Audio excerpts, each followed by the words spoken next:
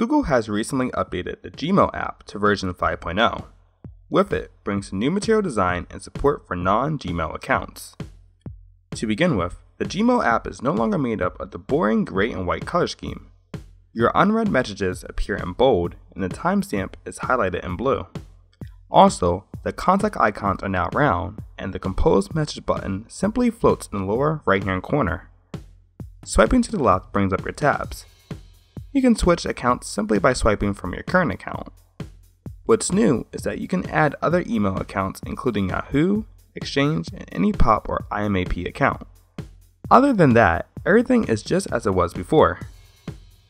So if you want to check out the new Gmail, I'll provide a link in the description. So guys, what do you think about the new Gmail update?